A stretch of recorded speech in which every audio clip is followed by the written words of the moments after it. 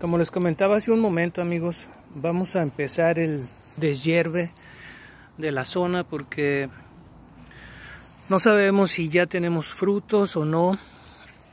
Así que tenemos que quitar el foliaje, follaje. Miren, por ejemplo, aquí tenemos una pequeña calabaza.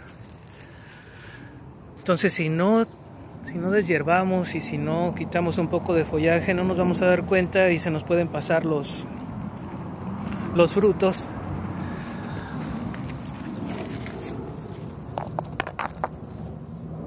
Como por ejemplo tenemos aquí en esta zona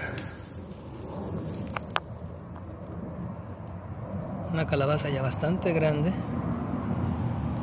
y no me había dado cuenta hasta que estuve revisando un poco. Así que como recomendación hay que darle una una limpieza de vez en cuando, si no es que diario, a tu pequeño jardín o huerto.